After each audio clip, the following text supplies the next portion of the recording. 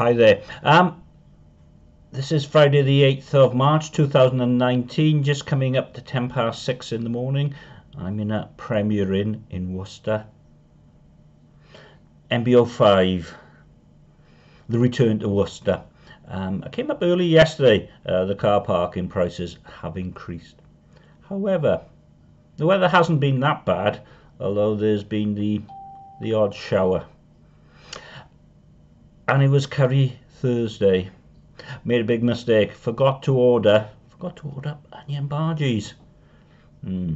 Never mind. I was going to go to Firefly, but then I discovered Firefly don't open until 1500 hours on a Thursday. So after going to Spoons and Costa Coffee for my bacon roll, um, into the plough. They don't do they don't do baguettes unless it's Friday or Saturday.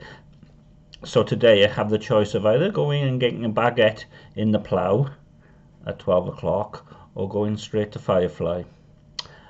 I'm not altogether sure which I should do, or perhaps I should do both. Anyway, I've discovered the Hop Lords, and it is very good and very friendly, and they have Cantillon in the fridge.